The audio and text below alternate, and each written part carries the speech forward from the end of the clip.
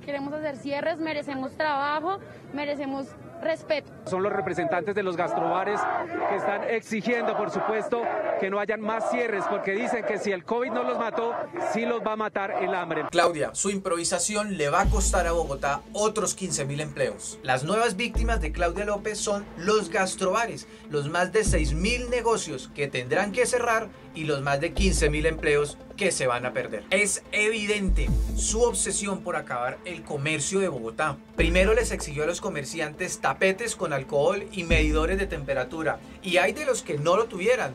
Ahora les dice que ya no son necesarios, que nunca sirvió para combatir el coronavirus. Es que acabar empleos no bajan los contagios. El comercio invirtió en todo lo que ella definió como protocolo de bioseguridad entonces ese protocolo no tenía un sustento epidemiológico. Los 6.000 gastrobares a los que le llegó la noticia de un día para otro que tendrán que cerrar salen a protestar y la alcaldesa les envía el SMAT. Pero si fueran vándalos o marchas de FECODE que destruyen Bogotá, les habrían enviado los gestores de convivencia, las madres acompañantes. Pero son los ciudadanos que pagan impuestos, a ellos les manda el SMAT. ¿Qué pasó con el trabaje juicioso? Pero si usted no deja, alcaldesa, para quien infrinja norma todo el peso de la ley, pero no para quien invierte en protocolos, para el que genera empleo, para el que trabaja, para el que quiere salir adelante. Alcaldesa, trabaje juiciosa y deje trabajar.